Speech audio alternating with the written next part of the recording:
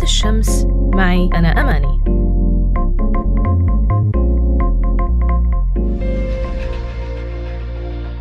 مرحبا. الفن رسالة. وأهم رسالة ممكن يحملها الفنان هي الإنسانية. مو بس من خلال أعماله الفنية وكمان من خلال سلوكه وطريقة تعامله مع فنه.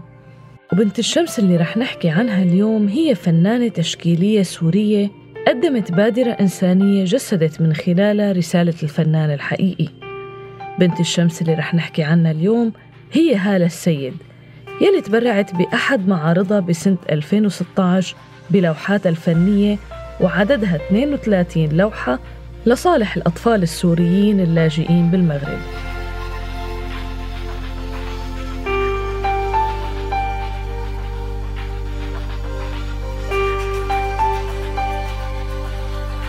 رغم أنه الفنانة هالة السيد ما قدرت تحضر هذا المعرض يلي صار بمدينة الدار البيضاء بالمغرب بسبب عدم حصولها على تأشيرة الدخول قبل تاريخ المعرض إلا أنه هذا الشيء ما كان عائق لتقديم إيد العون للاجئين السوريين بالمغرب.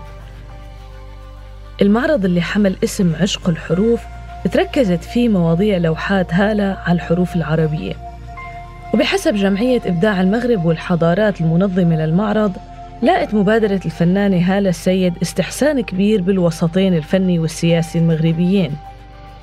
من جهة لأنه أعمال هالة الفنية ارتبطت بشكل كبير بالاهتمام والتراث والتأكيد الهوية العربية والإسلامية بمواجهة الاتجاهات الغربية الفنية يلي سيطرت على فنون العالم المعاصر واللي حولتها لشكل مكرر ومستنسخ منها.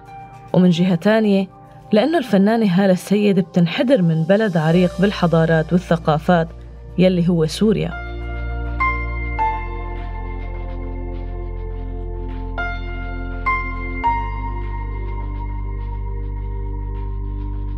من خلال تبرع هالة بلوحاتها ال 32 جسدت رسالة الفنان الحقيقي يلي ما بتكون بعيدة عن الناس المحتاجينها وهيك حملت الفنانة السورية هالة السيد بجدارة لقب بنت الشمس.